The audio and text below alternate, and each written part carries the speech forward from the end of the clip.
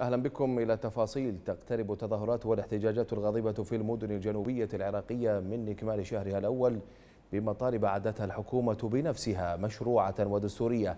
لكن المتظاهرين لا يرون أي تغيير في واقعهم ما دفعهم إلى رفع وتيرة التظاهر ليصل في بعض المدن إلى اعتصام مفتوح.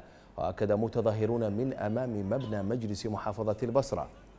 أكدوا أن القوات الأمنية أزالت خيام المعتصمين بالقوة وقامت بإحاطة أماكن التظاهر بشكل محكم مشيرا إلى أنهم مستمرون بالاحتجاجات حتى تلبية مطالبهم المشروعة. في الوقت الذي نفوا فيه وبشكل قاطع وجود أي عناصر مدسوسة بينهم أو تلقيهم أو تلقيهم أي دعم من أحزاب أو أجندات خارجية.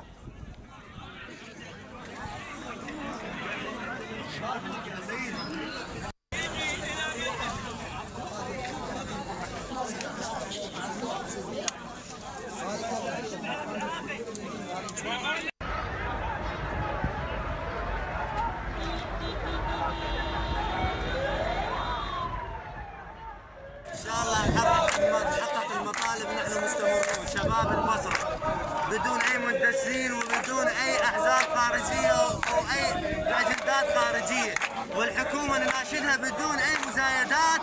حق هذا الشعب من من مندس طلعتوا لنا وداعشي واجندات خارجية كل إحنا شباب